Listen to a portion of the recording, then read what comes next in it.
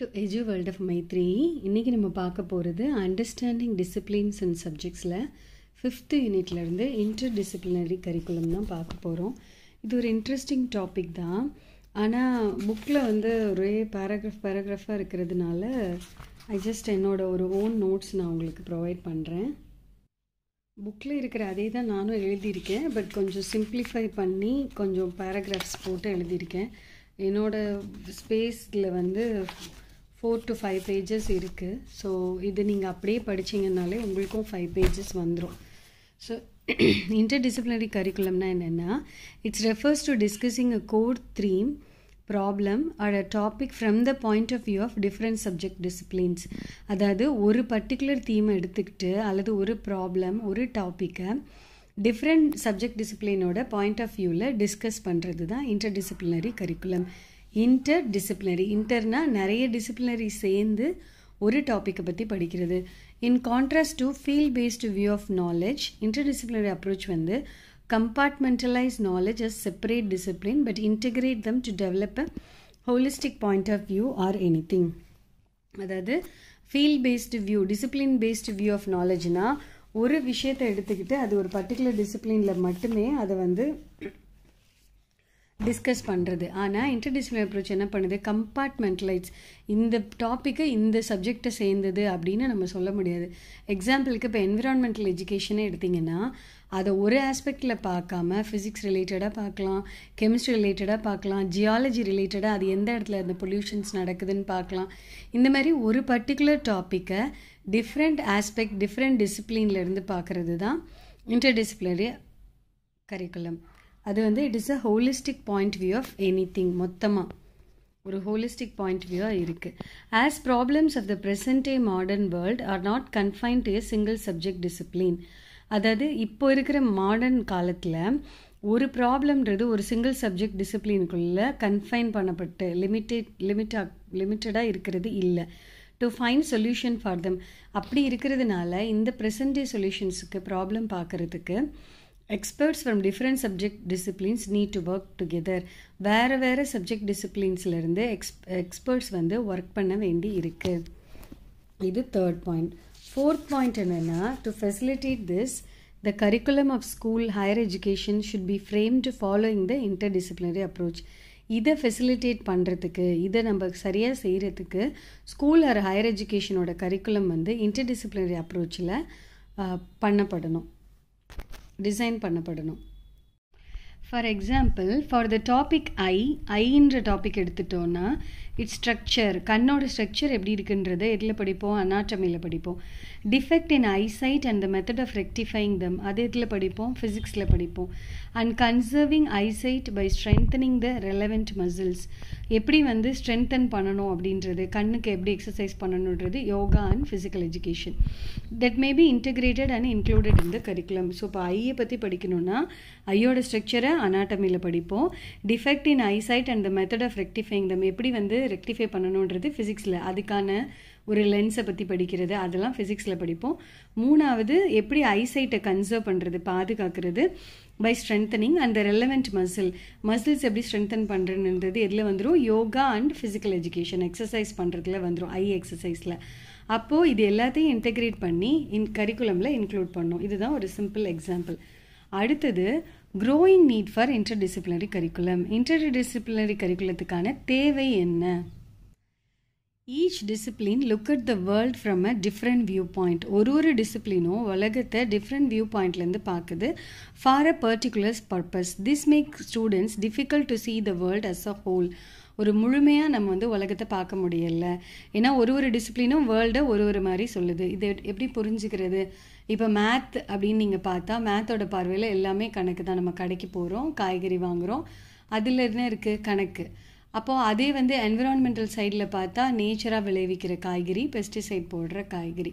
இப்போ அதில் கடைகளில் நடக்கிற வியாபாரத்தை பார்த்தா அது வந்து எக்கனாமிக்ஸ் ஆஃப் த கண்ட்ரி அப்போது இது ஒரு ஒரு டிசிப்ளினும் உலகத்தை ஒரு ஒரு பார்வையை பார்க்குது. அப்போ ஹோலாக நம்மளால் பார்க்க முடியல. அப்போது there is a need to develop broad understanding to operate successfully as a person citizen productive worker ஒருத்தங்க வந்து ப்ராட் அண்டர்ஸ்டாண்டிங் தெளிவான நாலேஜ் அண்ட் புரிதல் இருக்கணும். அப்போ தான் அவங்க ஒரு பர்சனாக ஒரு சிட்டிசனாக ஒரு ப்ரொடக்டிவ் ஒர்க்கராக இந்த சொசைட்டியில் வாழ முடியும். One of the important reason for looking into interdisciplinary curriculum is that our present disciplines are older ways of describing knowledge. முக்கியமான ரீசன் இன்டர்டிசிப்ளினரி கரிக்குலம் பார்க்குறதுக்கு இப்போ ஏன் அது தேவைப்படுதுன்னா நம்மளோட ப்ரெசன்ட் டிசிப்ளின் வந்து older ways of describing knowledge பழைய வழிகளில் தான் நாலேஜை டிஸ்கிரைப் பண்ணுது இப்போ இருக்கிற ப்ரெசன்ட் டிசிப்ளின்ஸ் அப்போ development of this new century வந்து என்னெல்லாம் இருக்கணும்? ஸ்பேஸ் சயின்ஸ் இருக்கணும் நேனோ டெக்னாலஜி இருக்கணும் சேட்டலைட் மானிட்டரிங் ஸ்பேஸ் சயின்ஸுன்றது நம்ம இன்னும் ஸ்பேஸை பற்றி படிக்கிறதுக்கு புரிஞ்சுக்கிறதுக்கு.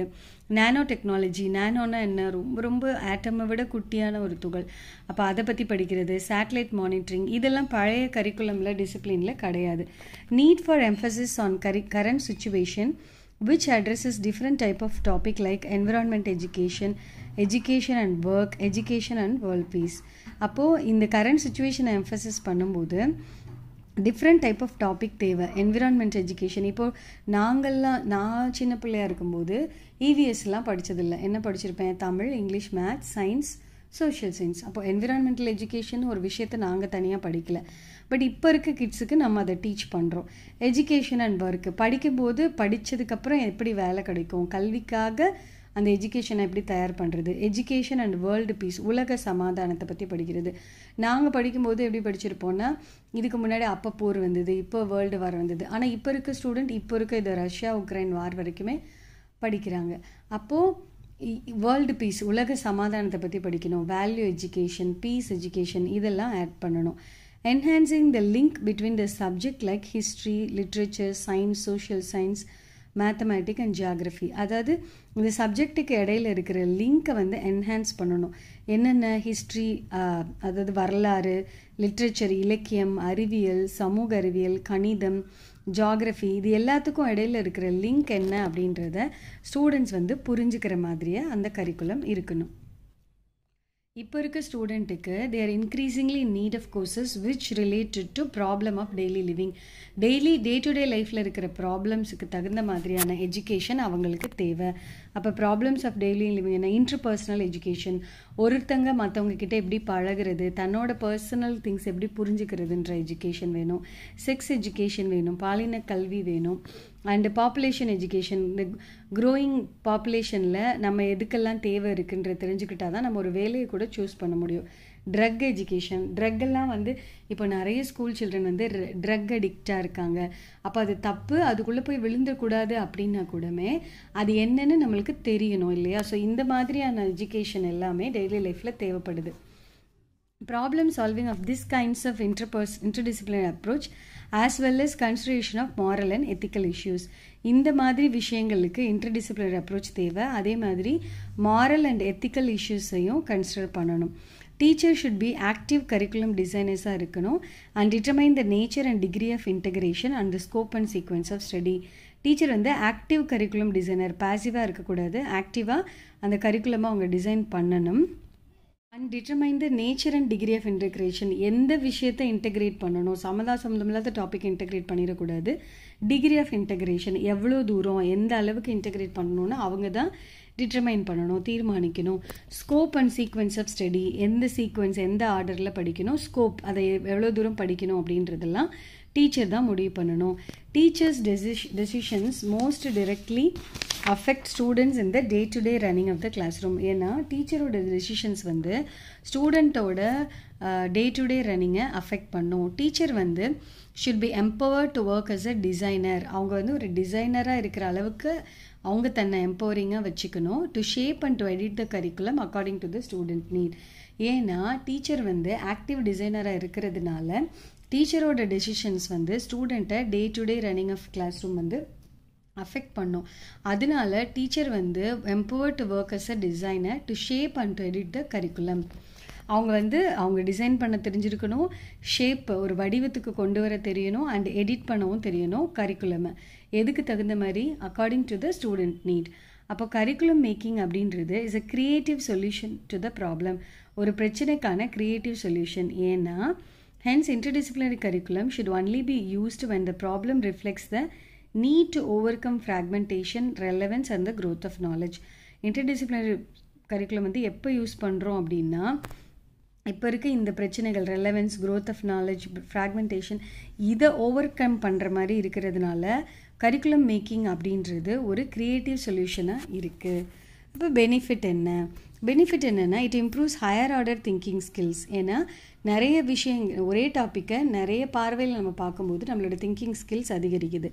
Give a learner a more unified sense of process and content ஒரே விஷயமா அந்த ப்ராசஸையும் கண்டென்ட் சப்ஜெக்ட் கண்டென்ட்டையும் லேர்னரால் பார்க்க முடியும். மூணாவது improves learners mastery of content அப்போது அந்த கண்டென்ட்டில் அவங்க வந்து மாஸ்டர் ஆகுறாங்க.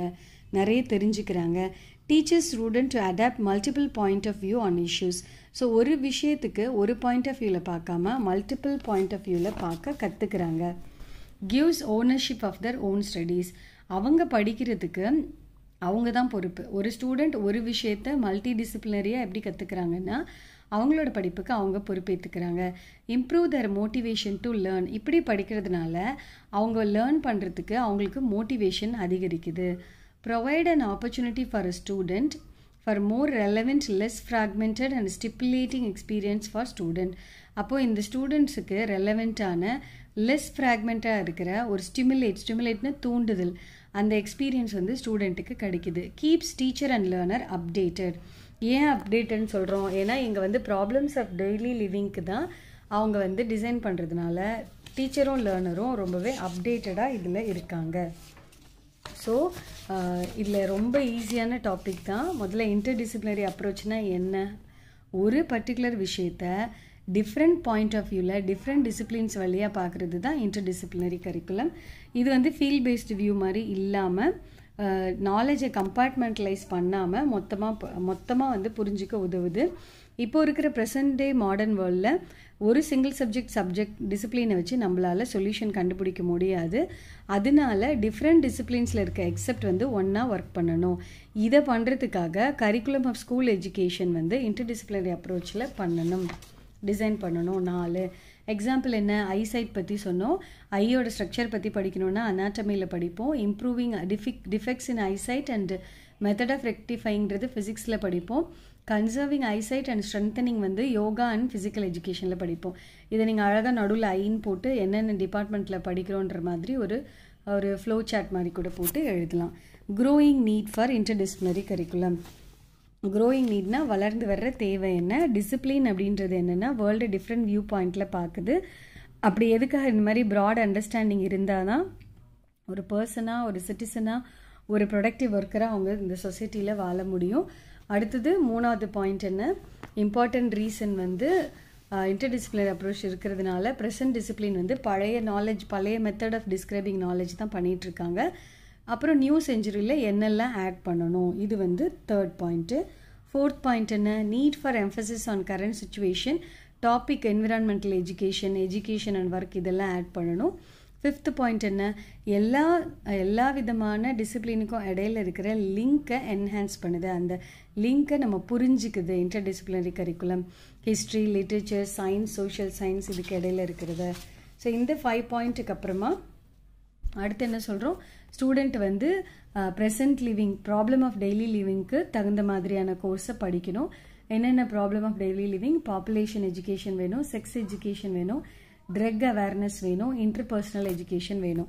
அப்போ இந்த மாதிரி விஷயத்துக்கெல்லாம் ப்ராப்ளம் சால்விங் பண்ணுறதுக்கு தான் இன்டர் டிசிப்ளினரி அப்ரோச் வந்து உதவுது. டீச்சர்ஸ் வந்து ஆக்டிவ் கரிக்குலம் டிசைனராக இருக்கணும்.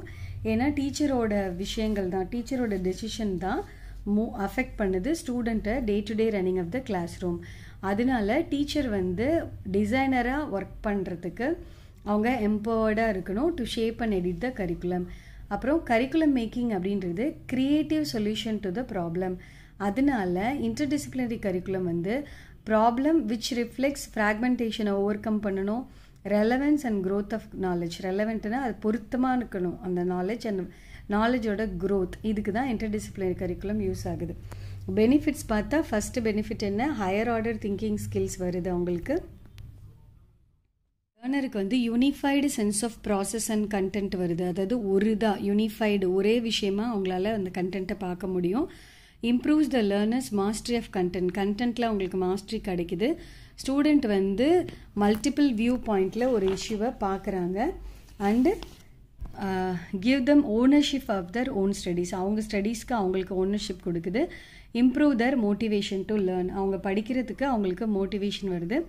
Provide an opportunity for a more relevant less fragmented and stimulating experience for student அவங்களுக்கு ரெலவெண்ட்டான ஸ்டிமுலேட்டிங் எக்ஸ்பீரியன்ஸை கொடுக்குது. எது? Interdisciplinary approach keeps teacher and learner updated ஏன்னா அவங்க ப்ரெசன்ட் டே விஷயங்களை படிக்கிறதுனால டீச்சரும் அப்டேட்டடாக இருப்பாங்க லேர்னரும் அப்டேட்டடாக இருப்பாங்க. இந்த நோட்ஸ் வந்து நான் தனியாக ஸ்லோவாக ஒரு வீடியோ எடுத்து போட்டிருக்கேன். நீங்கள் வேணும்னா அதை பாஸ் பண்ணி இந்த நோட்ஸை just எழுதிக்கங்க. At least it will take ஒரு ஃபிஃப்டீன் மினிட்ஸ் தான் ஆகும். நீங்கள் பார்த்து எழுதிட்டு படிங்க. இது ஒரு இம்பார்ட்டண்ட் கொஷின் ரொம்பவே இன்ட்ரெஸ்டிங்கான கொஷினும் கூட. சரியா? So that's all about interdisciplinary approach சேனலை சப்ஸ்கிரைப் பண்ணுங்கள் உங்கள் ஃப்ரெண்ட்ஸுக்கு ஷேர் பண்ணுங்கள் இம்பார்ட்டண்ட் டாபிக்ஸ் வேணும்னா சொல்லுங்கள் இந்த டாபிக்ஸ் எல்லாம் சில ஸ்டூடெண்ட்டோட ரெக்வெஸ்ட்டுக்காக தான் இந்த டாபிக்ஸ்லாம் நான் இப்போ போஸ்ட் பண்ணியிருக்கேன். ஸோ அடுத்து உங்களுக்கு என்னென்ன டாபிக்ஸ் வேணுமோ சொல்லுங்கள் சரியா? தேங்க்யூ